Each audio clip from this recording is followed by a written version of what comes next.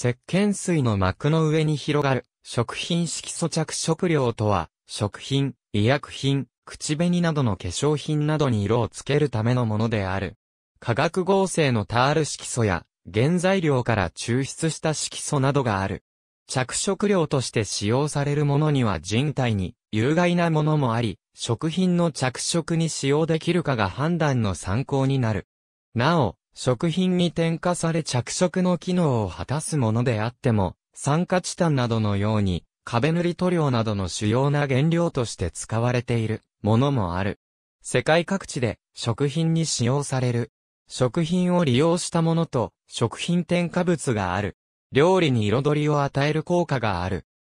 日本では食品衛生法により食品添加物として内閣府食品安全委員会がある。添加量において、反復投与毒性試験、発がん性試験、変異原性試験より審査されそれらの毒性がないことを確認の上、厚生労働省が成分規格、使用基準を定め承認される。製造は食品添加物製造業の許可を取得した工場で行われる。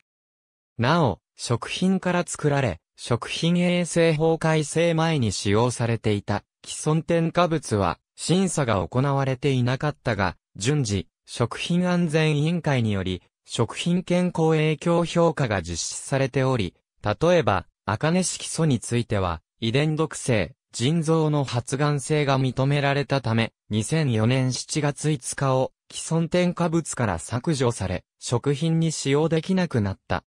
なお、日本においては口述するように、タール色素に対して安全性を問題視していたため、他国にないタール色素以外の色素が多数作られた。一部の団体は、実験動物に大幅に過剰摂取や皮膚に塗布させることによって遺伝子を傷つけたり、癌を引き起こすことがあるという報告があったとして、安全性を問題視している。ただし、食品に含まれる量であれば、相当な量を摂取しなければ、影響はないという意見もある。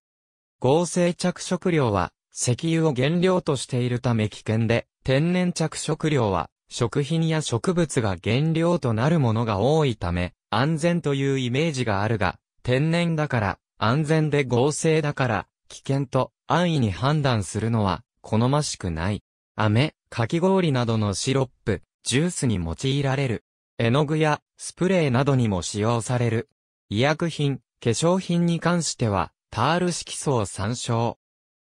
食品については省略する。いくつかの色素の語尾につく FCF は、フォーカラーリングフードないし、フォーカラーリングオブフードの略である。ありがとうございます。